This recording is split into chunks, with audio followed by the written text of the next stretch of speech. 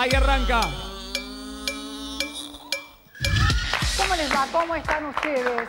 Este es mi primer programa, se va a llamar NutriSport. Mi nombre es Mora Furtado y los invitados que tengo son unos tipos maravillosos que hace muchos años le dan alegría al país, le ponen humor. Y ya los llamo a mis invitados, uno por uno. Por favor, acérquense a mí.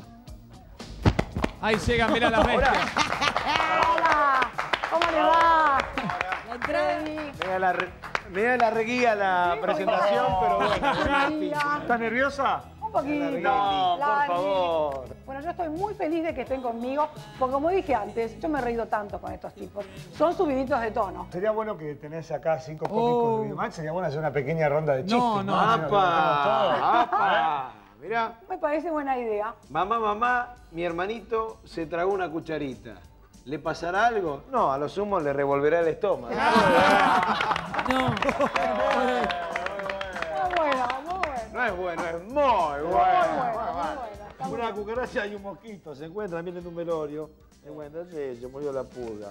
Pobre cosa, se la pulga. ¿Y a dónde está la pulga? Y en el purgatorio. ¿Sabés qué, qué le decía Marcel Marceau a su mamá cuando era chiquito?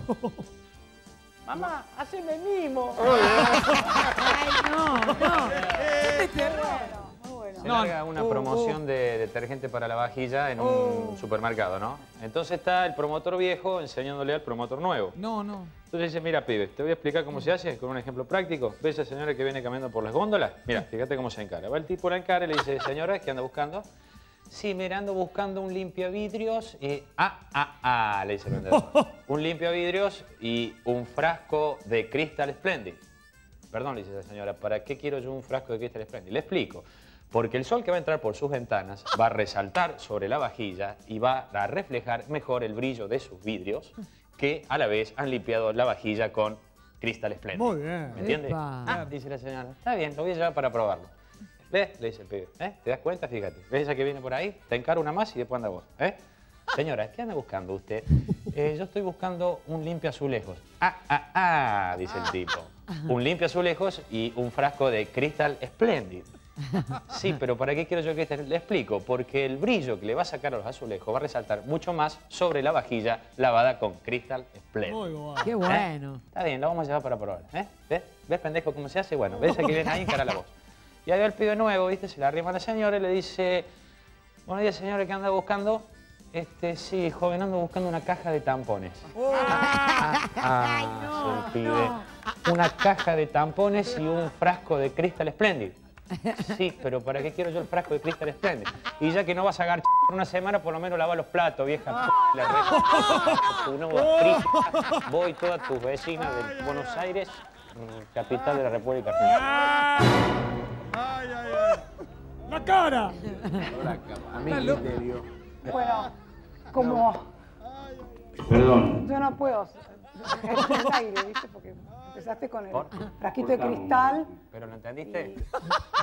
Sí, O sea, la vieja iba a estar... soy idiota, ¿viste? Pero, pero el público no es para que esté... No le iba a poner la Porque vieja... aparte los chistes eran todos buenos, simpáticos. Y, pero te, te pasaste, viste, la rayita. Bueno, pero así, Sorry, el chiste este, así como te lo conté yo, lo contó Juan Carlos Marico No, en. Radio Nacional cuando laborábamos con él. Ah, mira, bueno, me me lo parece brutal, pero bueno, yo no soy mareco. No, no es idiota. carajo. A ver si me entendés, no es idiota. te- El hecho de que sea modelo no significa que sea idiota. No, no. Es una cosa Pero, distinta. pero lo entendiste el chiste. ¿Tenés otro más? Vos querés algo más sencillo. Claro, Bueno. más livianito. Bueno, Dale, te Bueno, doy el pie yo. Retomamos y hacemos... Uy, no, no, no. Te doy el pie mío del último chiste, Ok, ¿querés? ok. ¡Mimo! Vos sabés que el tipo lleva a la novia a la cancha, ¿no? A la popular ahí con todos los brones. Y en las avalanchas, viste, se venían los negros abajo y aprovechaba, le mandaban manos malas a la mina, la toqueteaban, la franeleaban. Hasta que un amigo ve la situación, va, se le arrima al negro y le dice, mira papi, no la traiga más a la cancha porque los negros aprovechan la, la avalancha para tirarse encima y te la manosean. Y el tipo le dice, ¿qué querés? Que la deje en casa y me la garche directamente todos los hijos de puta del barrio. A esta negra sucia, de mierda, patas chorreadas. Es un animalazo. Yayo, pero Yayo, vos no podés decirme estas cosas, ¿viste? Pero el chiste es así. Y todo de palabrotas y... O sea, sí, pero... pero- No, no, ¿A no qué hora va? Me parece que- ¿A qué hora va? ¿A qué hora va ahí? Ah, no importa que fuera a las 3 de la Claro, mañana. que vaya a las 3 de la mañana, No no. importa, es a la mañana, es a la No, tarde. capaz que después de las 10 de la y noche aparte lo zafa. ven por ahí. eh, Esto no sigue, sé, no me parece, ¿viste? Me parece que tenemos que tener un poco de respeto, un poco de respeto, Yayo, para las dos o tres personas que nos pueden llegar a mirar. Me parece un poco, un poco de respeto. José María. Bueno, parate. Se lo, se lo merece Mora, corto, lo merecemos corto, nosotros. Hago uno corto, que el tipo le pregunta a la mina, eh, eh, ¿por qué te pintas tanto? Le dice, y para estar más linda. ¿Y cuándo te va a hacer efecto, vieja conchu? ¿Qué te parió? ¿Entendés? No. Pero pará, Yayo, escuchame, vos estás haciendo cada, cada vez los haces más, más desagradables. Algo más simple. bueno, el nene que entra al desagradable. baño y lo ve el padre bañándose y se tapa. Bueno, dice, papá, ¿qué tenés ahí? Tengo una ratita, ahí te la estás culiando, viejo degenerado y la concha de la lora. Es fuerte, pero bueno. ¿eh?